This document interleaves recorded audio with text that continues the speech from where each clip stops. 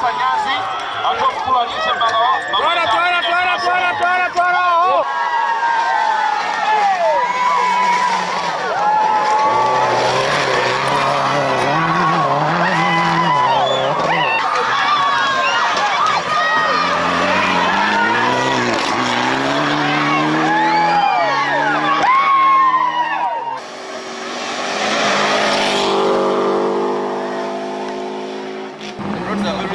and uh, very tempting, so you have to really be careful. Uh, we want to try and uh, come out day one and see what happens tomorrow. Expect to do day one is it will be 50-50. You're not going to push a lot, but day two you're going to push up to the limit.